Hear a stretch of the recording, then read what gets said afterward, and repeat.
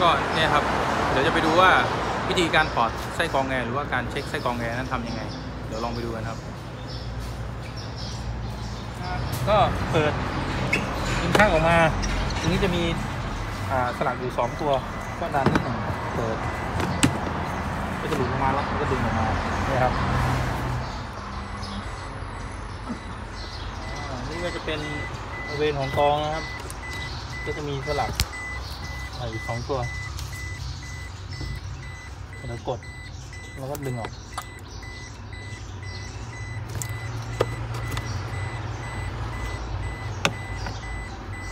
อ่าเดี๋ยวพบว่ามีไส้กรองแอร์อยู่นี่ เดี๋ยวจะลองดึง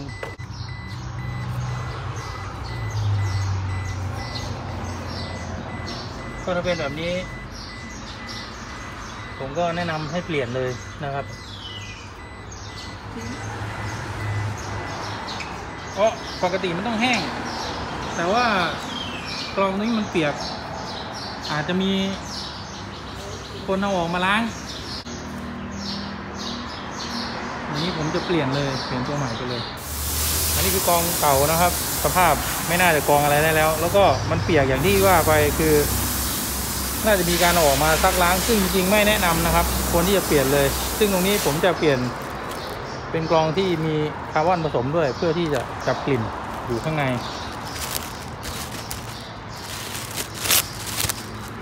โอเคนะครับส่วนประสิทธิภาพ ในการกรองตัวนี้ระบุไว้เลยว่า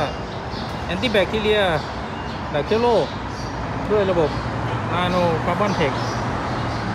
นะครับ เพิ่มชั้นเฮปาเพื่อป้องกันไมโครแบคทีเรีย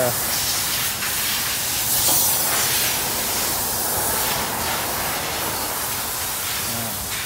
นี่ เป็นคุณสมบัติคร่า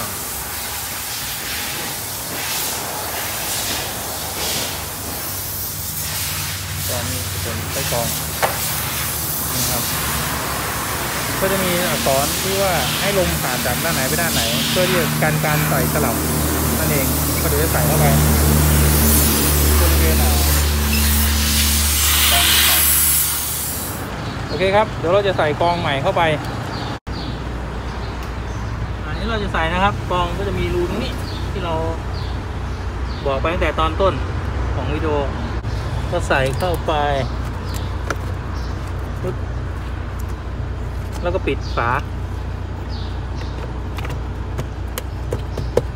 เรียบร้อย อันนี้สามารถทำเองได้ที่บ้านก็คือ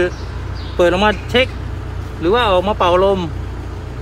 แต่ถ้ามันเก่ามากก็แนะนำให้เปลี่ยน หลังจากนั้นก็ใส่ ลิ้นชักกลับไปที่เดิม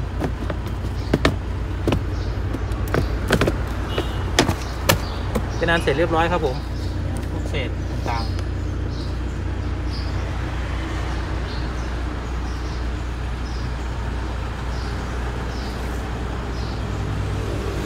เดี๋ยวจะมาทำความสะอาดภายในต่อก็จะมีการอ่าครอพวกคอนโซลพวกเบาะอีกทีหนึ่งเพื่อที่จะให้มันลดกลิ่นออกไป แล้วก็ให้ห้องโดยสารสะอาดขึ้น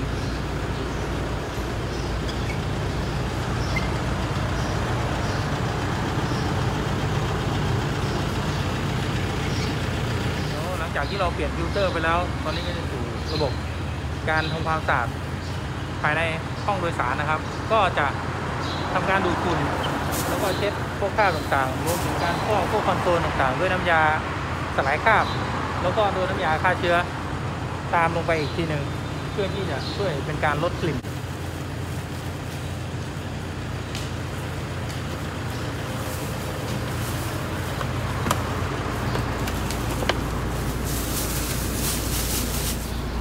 จากที่จะเห็นนะครับก็จะมีคราบฉี่หนูแล้วก็ขี้หนู ซึ่งตัวนี้จะทำให้เป็นโรคฉี่หนูได้ ซึ่งมันมีฉี่หนูและขี้หนูนั่นเอง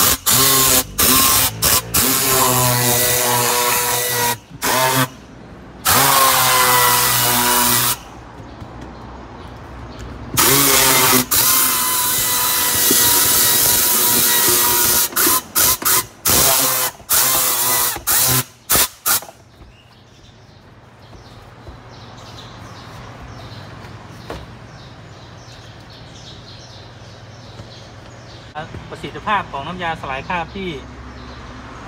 ผมได้ฉีดลงไปเดี๋ยวลองนี่ครับ ลองดูผ้าครับเช็ด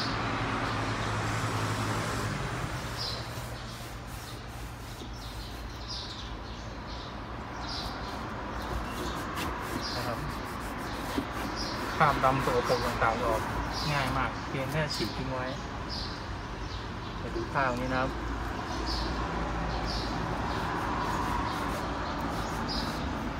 หายแล้ว ครับคราบดำติด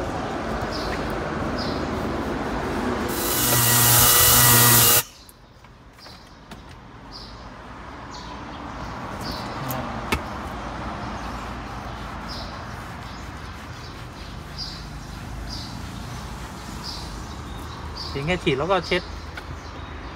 แค่นั้นเองนะครับ ซึ่งตรงนี้ก็ไม่จำเป็นที่จะต้องใช้ปืนแบบนี้ ซึ่งอย่างที่ผมเคยลงไว้คลิปก่อนหน้าก็จะเป็นขวดสเปรย์ก็สามารถที่จะเอาไปทำเป็นเองได้ที่บ้านง่ายๆ ฉีดทิ้งไว้แล้วก็เช็ดออก แล้วก็ใช้น้ำสะอาดชุบใช้ผ้าชุบน้ำสะอาดแล้วก็เช็ดตามอีกรอบหนึ่ง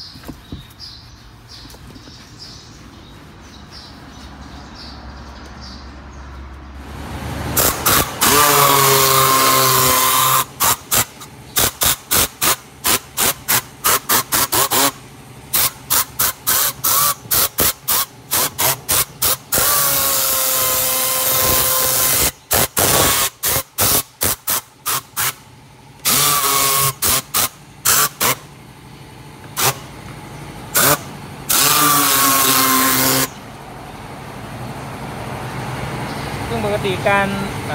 การใช้น้ำแบบนี้นะครับ เราก็จะหลีกเลี่ยงในส่วนของพวกที่เป็นระบบไฟฟ้า หรือว่าถ้ารถที่เป็นรถรุ่นใหม่ๆเนี่ยก็จะหลีกเลี่ยงการที่จะฉีดเข้าไปตามซอกที่เป็นอุปกรณ์ใช้ไฟฟ้าหรือว่าอุปกรณ์อิเล็กทรอนิกส์เพื่อที่จะป้องกันการลัดวงจรแต่ถ้ากรณีเป็นรถที่มีระบบอนาล็อกค่อนข้างเยอะ ก็ไม่จำเป็นที่จะต้องระมัดระวังมากนัก แต่ยังไงเสียตรงนี้ก็ป้องกันไว้ดีกว่าแก้นะครับ อย่างเช่นตรงนี้ที่เป็นระบบไฟฟ้าเราก็จะไม่ทำการฉีดเข้าไปใน บริเวณรอยต่อต่างๆ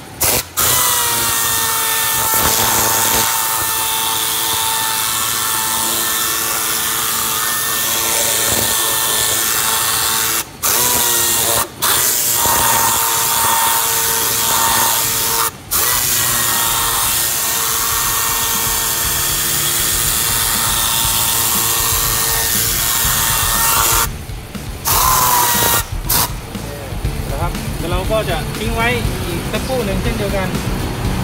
เพื่อที่จะให้น้ำยาทำงานทำปฏิกิริยาเราจะมาทำความสะอาดตามอีกรอบหนึ่งนะครับ